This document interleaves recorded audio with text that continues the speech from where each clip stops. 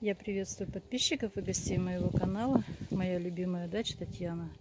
Посмотрите, какое красивое дерево. Ранетки просто уже во всей своей спелости. Сегодня я соберу часть ранеток.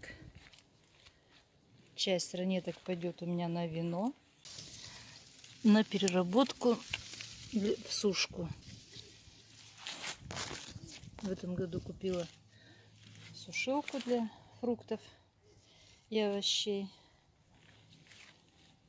Уже два раза посушила. Получаются прекрасные сухофрукты на компот. И сегодня третий раз. Только ее прикоснешься к ранетке, она часть в руке остается, а часть падает на землю. Яблоки перебираю, удаляю листья. Яблоки не моем, так как на кожуре находятся бактерии для брожения. Если сильно грязные попадаются яблочки, тогда их протираем сухой тряпкой. Разрезаю, удаляю ножку, разрезаю на две части и кладу в соковыжималку.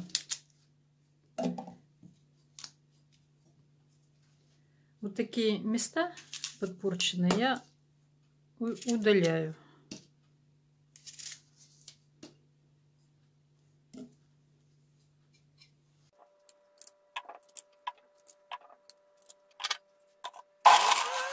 Полученный сок я сливаю в кастрюлю. Получилась вот такая кастрюлька яблочного сока с мякотью. Сейчас я кастрюлю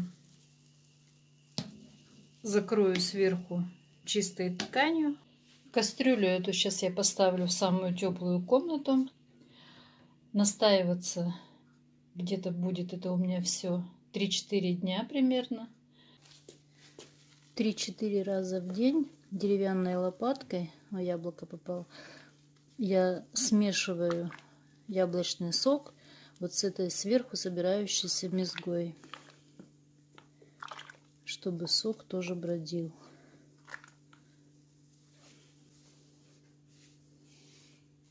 Сегодня четвертый день, как у меня настаивается сок. Смотрите, все шипит, все булькает, брожение прекрасно все проходит.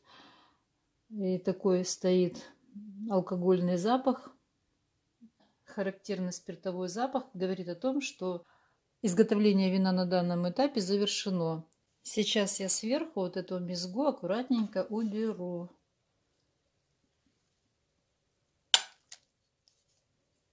Стараясь не перемешать ее с соком.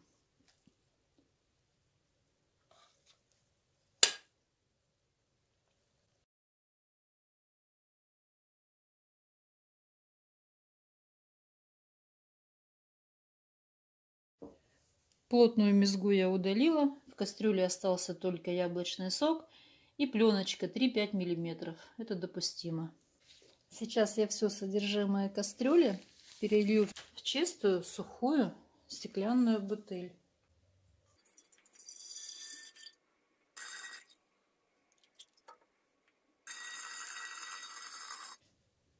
Я замерила, у меня получилось 8 литров сока.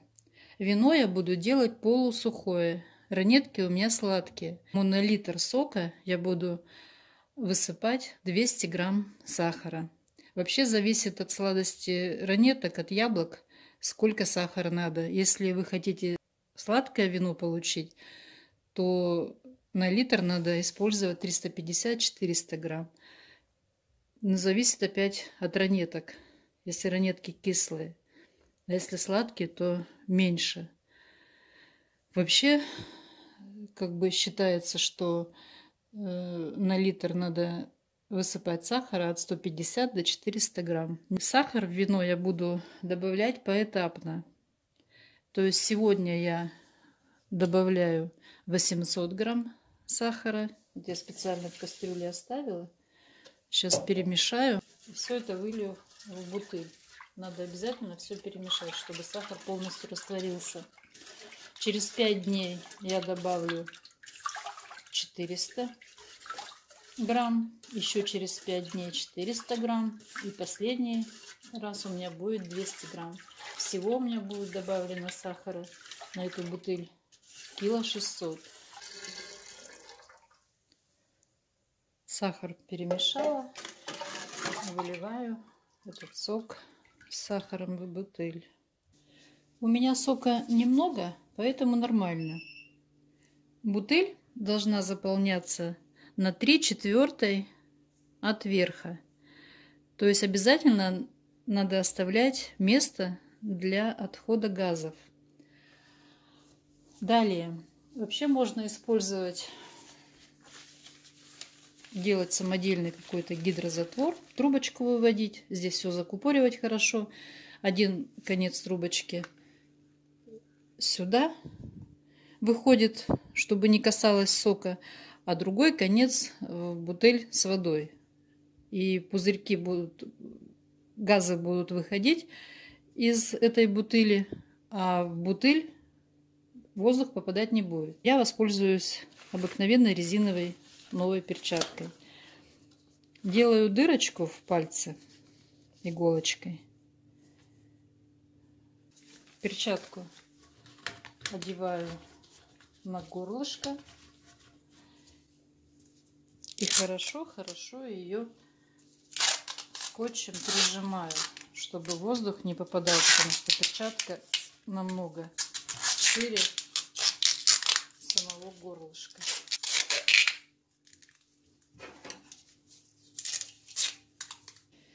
Далее написала дату, когда я залила в бутыль вино с сахаром первый раз. Это будет такая мне напоминалочка. И уношу бутыль в теплое, темное место, где она где сок у меня начнет работать. Этот этап называется выбраживание сусла. Так бутыль с будущим вином выглядит на второй день.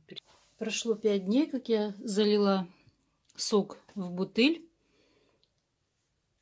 Одела перчатку. Перчатка прекрасно стоит. Газы отходят из бутыли. подошел срок подкормки моего будущего вина сахаром.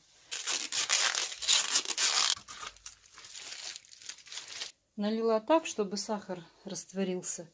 Высыпаю 400 грамм сахара и деревянной лопаткой хорошо размешиваю.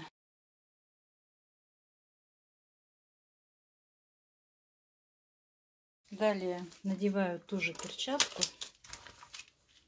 и также скотчем закрепляю, чтобы не попадал воздух. Убираю в то же место, где бутыль у меня стояла, опять на 5 дней. Прошло еще 5 дней. И сегодня высыпаю последний сахар 200 грамм.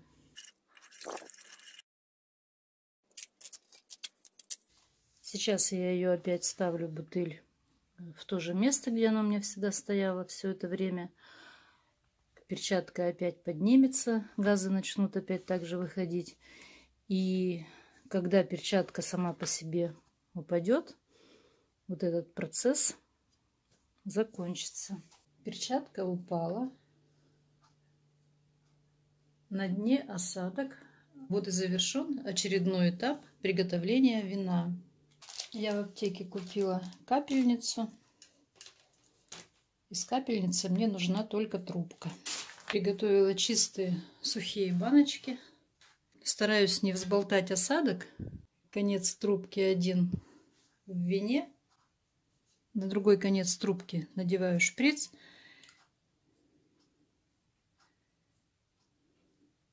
И так как в трубку вино не выходило, потому как Трубка очень легкая, она поднималась кверху.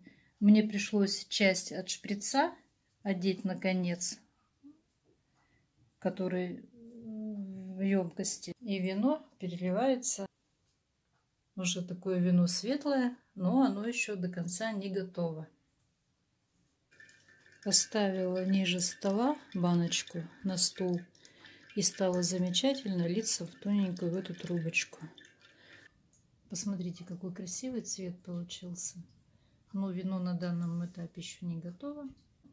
И завтра муж унесет его в подвал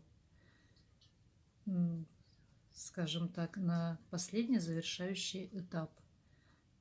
Там оно будет выстаиваться примерно 3-4 месяца. Ну, я думаю, что до Нового года,